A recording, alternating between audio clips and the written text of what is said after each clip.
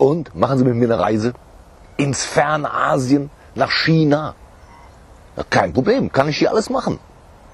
Ich habe da diese Tage eine ganz exotische Ernte gesehen. Die halten mal im Filmfest.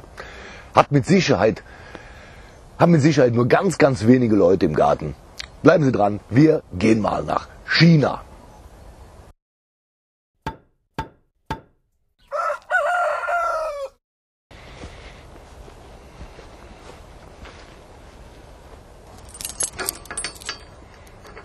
Da liegt nämlich gar nicht weit weg.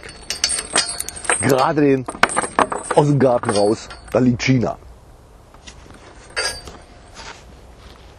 Sind nämlich von hier aus nur ein paar Schritte.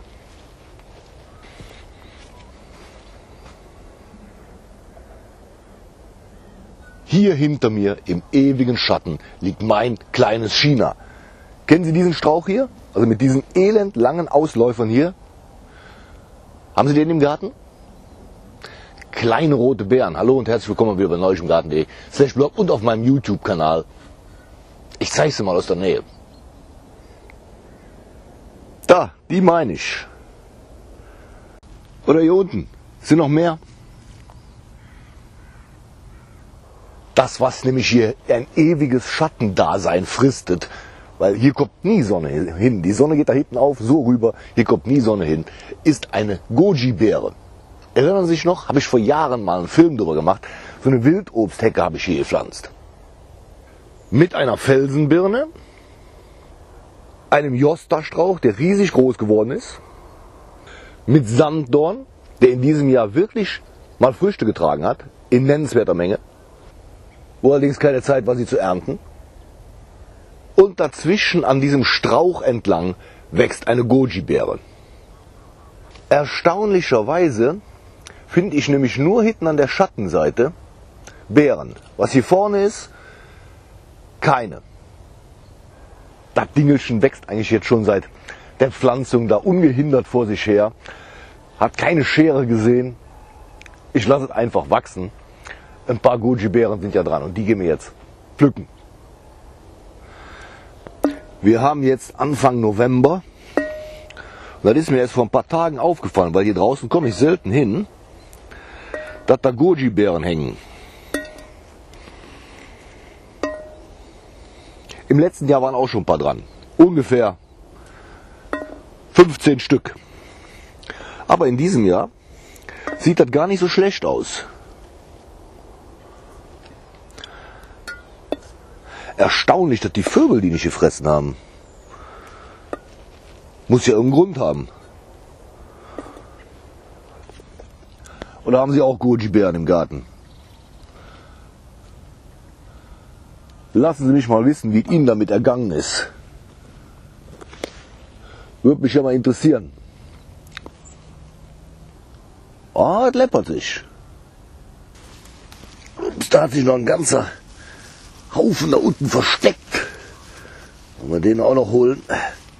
Oh, noch schöne große dran. Aber lassen wir mal die größte nehmen hier, die ich hier habe. Wollen wir testen, wie die schmeckt.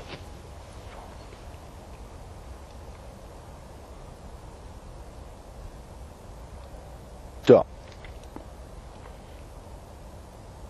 Wie eine Goji-Beere. Aber vielleicht schmecken sie ja getrocknet wesentlich besser. Hier unten hängen noch mal jede Menge dran. Die nehmen wir auch noch mit. Ist ja erstaunlich, dass auf der Sonnenseite keine einzige, so gut wie keine einzige davon hing. Alles nur hier, wo Schatten ist. So, ich glaube, das war's. Meine diesjährige Goji-Beerenernte. Also, verglichen mit dem letzten Jahr, hat sich das locker schon verzehnfacht hier.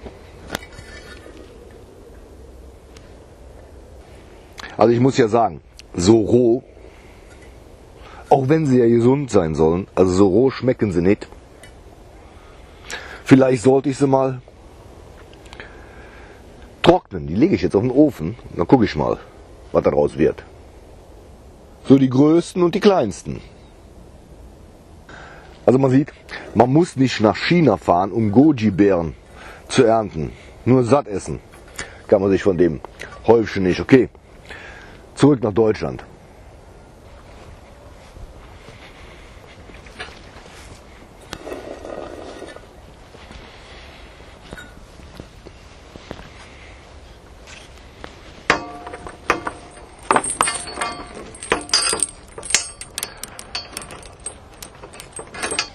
Boah, hier fühle ich mich doch wohler.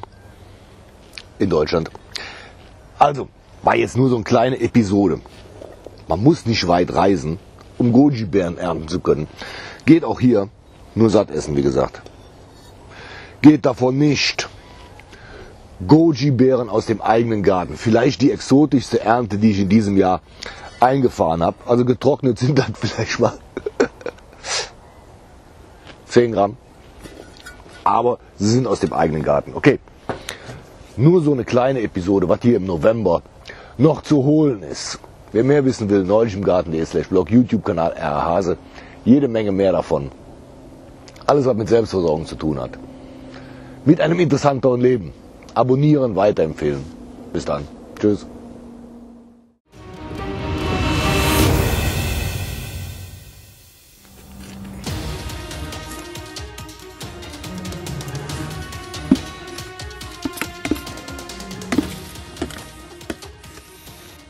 Ich bin Sie hier nicht am Verarschen.